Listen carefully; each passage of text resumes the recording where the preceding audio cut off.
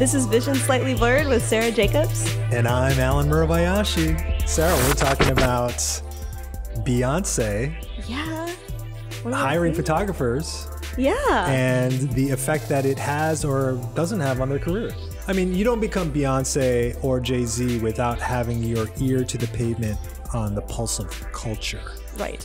And I think that they have made a point of looking for both new talent, but also new diverse talent. We're seeing a lot of black or Hispanic photographers enter into their uh, their orbit. Including the most major one. Tyler Mitchell Yes. photographed Beyonce for the cover of the September Vogue issue. Um, and he's also the first African American to in the history of Vogue to have shot the cover. Possible. It's it's it's an ins- it's pretty insane. It's stunning in any industry to still hear things like the first woman, the first black person, the first Asian. It's like, what? it's Yeah. 2019. How can that even be possible? I know. Well, he had done some work. Um, he had been he does video as well, and he had done work with Marc Jacobs, Ray Ban, American Eagle Outfitters. But he was hired by Anna Wintour, um, and the creative director of Vogue and Condé Nast. When you look at his photography, how would you describe his style? I- I'm going to use his words Okay, and yeah. not mine. Perfect. He was asked in an interview exactly that.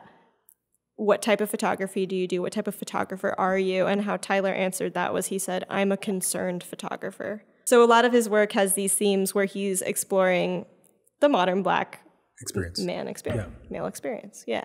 You know, I saw his teen Vogue cover Yes. of the Parkland school shooting survivors. yes. and was not impressed with, with that particular photo series. Thought it was kind of uninspired. 100%. The photos did not really impress me. There's um I mean there's definitely kind of a, a naturalistic style to his stuff that that I think a lot of young kids have kind of this very analog feel to their photos. Um, they're not trying to push the technical capabilities. They're not trying to get this super crisp image. They're not necessarily using lighting in a way that was used right in the 2000s, where we're trying to outpower the sun and make these really dramatic angles and whatnot, Totally. um, which I really like about his his photography. the Vogue cover, it looks so quote unquote simple. I mean, obviously it's not. Obviously, there's a lot of thought and prep put into those photographs, but the end result makes it look so natural, as though he just came across Beyonce sitting, you know, in front of a In sheet a dress, yeah. in a beautiful dress, you know, with flowers on top of her head. Um, but but but to be able to make it look like you just came across that, and like happened to be Beyonce's like best friend that she would give that look to, like Right. like applaud to Mitchell, you know. No, definitely has a connection with the subject. 100%. So Beyonce says in the September issue of this uh, Vogue from last year, she says, until there is a mosaic of perspectives coming from different ethnicities behind the lens, we will continue to have a narrow approach in view of what the world actually looks like.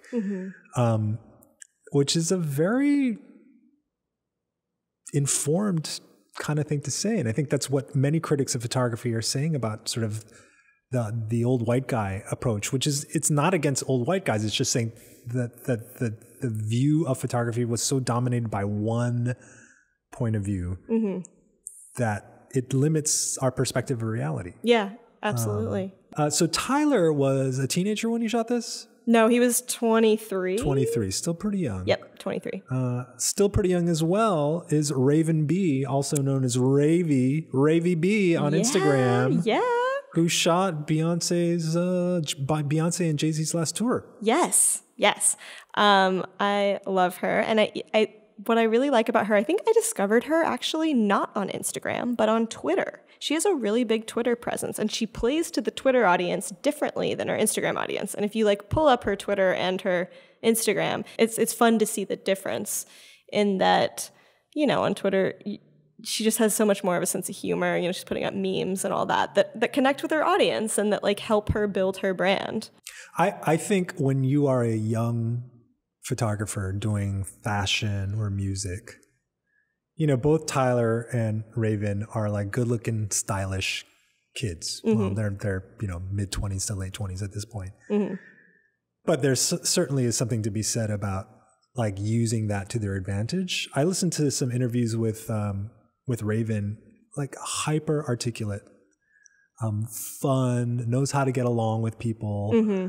And the one thing I'll say, you know, I think is true of music photography in general is that the ones that are successful at it, regardless of their skin color, love the music. Oh, They really love the music. Yeah, totally. You know, it's Yeah. like and how knowledgeable they are about you know the artist that they're covering and the genre that that artist operates in. It's really really fascinating to me. I, I think looking at the like if you look at Raven's work versus Tyler's work, you see Raven's like extremely technically good, right? Like Tyler has this like, you know, it's very artistic, it's this like natural feel, and then you look at Raven's work and it's like this crisp, clean. Yeah, and she's using image. telephotos. I mean, she Exactly. knows how to shoot a concert. Yes, exactly. I, I love any photos that she posts with like her, you know, her big cameras. Like it's just like, heck yes, like go you go girl. Another photographer that really kind of made waves because of the subject matter was Awol Erz- Erzu, um, who did the pregnancy photo, the pregnancy announcement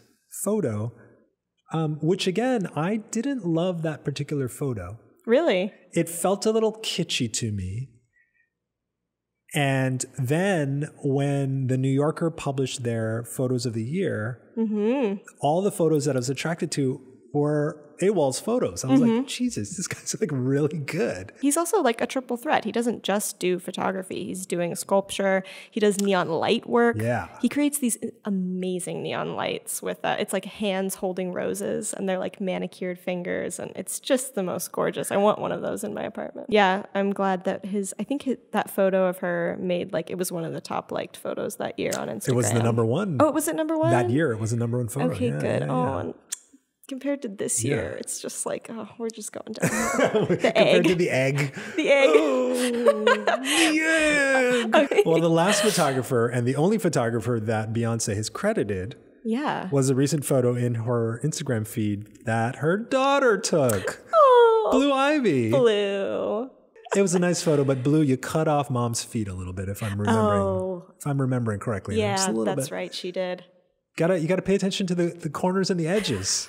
Come on, blue. That's like every photographer, uh, photo pro, prof, professor has always said that. Look at the edges. look at the edges. It's always look at the edges and the corners. She'll learn. Well, I, I think it's I think it's wonderful that Beyonce is using different artists. I mean, it, it partially keeps her relevant, right? Mm-hmm. By by using kind of young, young and up and coming kids and giving them the exposure, even if they're not being tagged. Totally. And yeah, you're right. Beyonce is like the perfect example of that, of like her keeping her brand consistent, yet surrounding herself with these incredibly talented people that can make her look wonderful and really bring out her brand. Well, if Beyonce can tag Yeah. Blue Ivy, Yeah. you can tag the other photographers as well, Beyonce. I know you're listening to us right now on IGTV.